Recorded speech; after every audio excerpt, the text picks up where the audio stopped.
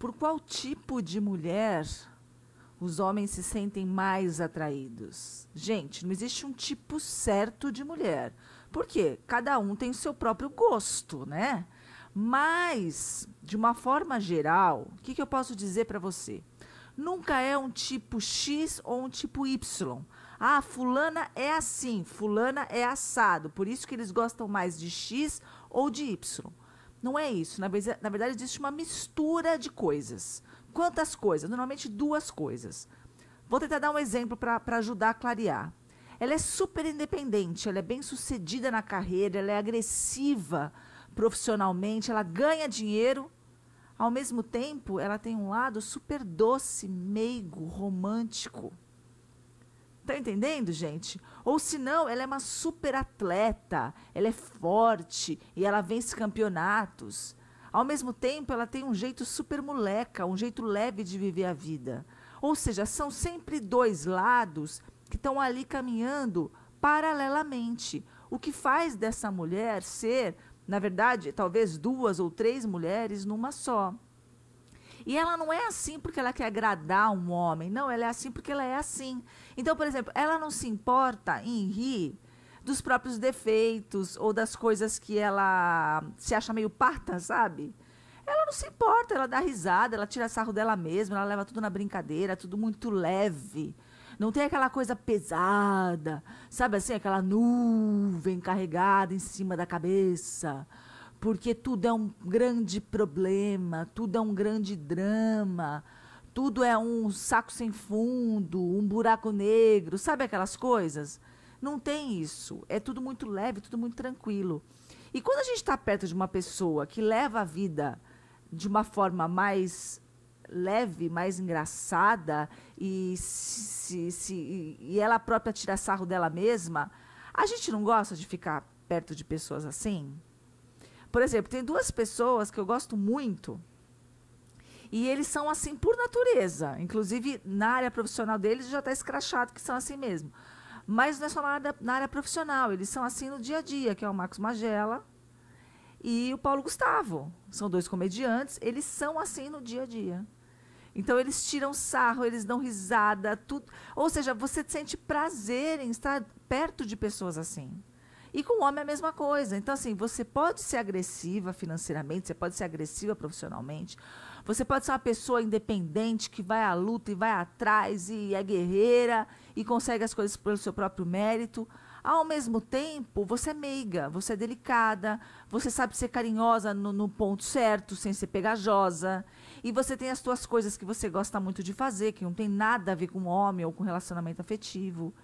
Isso faz com que aquela mulher ela se torne bonita aos olhos de um homem. Eu sei que você pode ficar pensando assim, Fernanda, mas e aqueles homens que gostam daquelas mulheres gostosonas? Tem também. Tem aquele homem que exalta aquela mulher, a, a, aquele, aquele, aquele, aquela, aquele monumento de mulher. Sabe aquele tipo de mulher que sai na frente da escola de samba? Tem homem que gosta disso. Tem homem que tem gosto para tudo, né? É isso que eu quero dizer. Agora, normalmente, não são mulheres que, que, que só são um monumento. Eu posso dar um exemplo aqui, por exemplo, o Ike Batista. Foi casado anos com uma mulher, a Luma de Oliveira, um desbunde de mulher maravilhosa. Mas, obviamente, ela não era só uma mulher bonita. É que a maioria não conhece o outro lado dela. Mas se você for pesquisar da vida dela, ela não é só uma mulher bonita. Ela é uma mulher bem-sucedida, uma mulher que ela conseguiu administrar a carreira dela muito bem, é uma mulher forte, é uma mulher que se posiciona, é uma mulher que aguenta o tranco.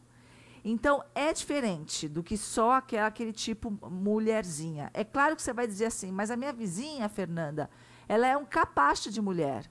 O marido dela humilha ela, o marido dela faz ciúmes para ela, ela fica com ele atrás dele o tempo todo, eles são juntos até hoje. É aquilo que eu falo, gente, cada cabeça uma demência. Então tem homem que é inseguro por natureza sim, tá? Tem essa insegurança, não confia no próprio pinto.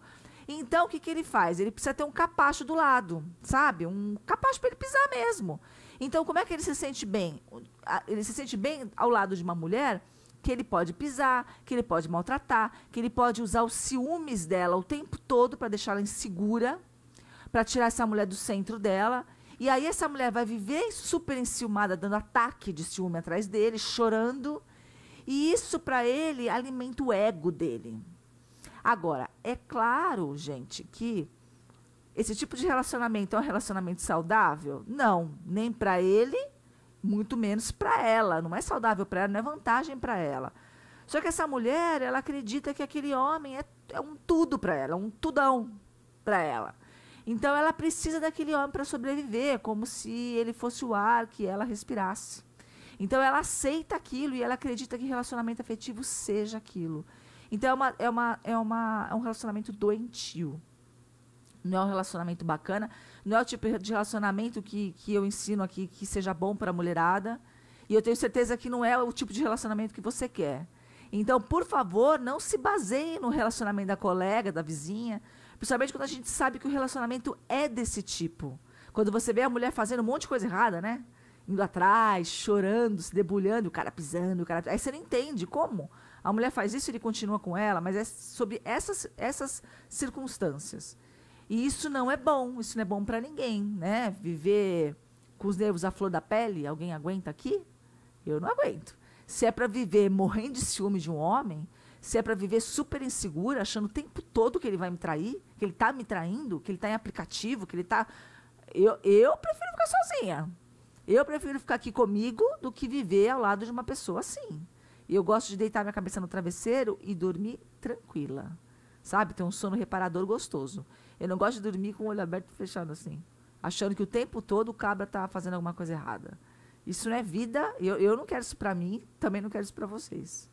Tá bom, gente? Um ótimo feriado para todo mundo amanhã. Descansem bastante. Sexta-feira estamos de volta. Um beijo.